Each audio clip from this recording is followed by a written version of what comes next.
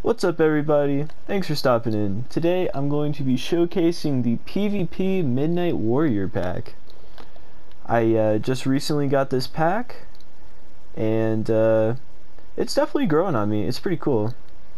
Uh, here's just a couple of uh, items I thought were uh, notable. The E-Pearls, they look pretty cool. Elytra.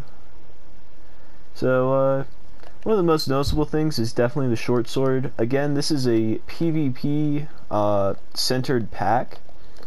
So the short sword is going to be something to notice. The outlines on the blocks for uh, Skywars, very helpful. And uh, I really enjoy... Uh, oh. What? Alright, whatever.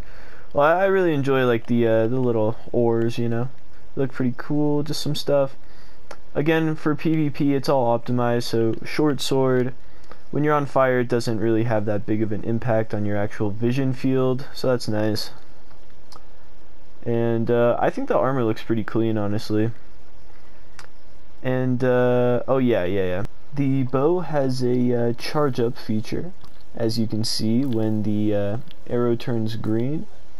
It's ready to fire, it's at full power. Very useful.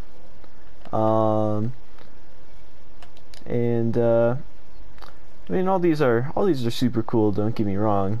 You gotta love the short sword. But uh, the sky beautiful. Look at this. I turned uh, cloud rendering off as you can see. And this is just the default background. Something cool though that uh, you guys might not know about the uh, PvP Midnight Warrior texture pack is it actually changes the sun as well. So check this out.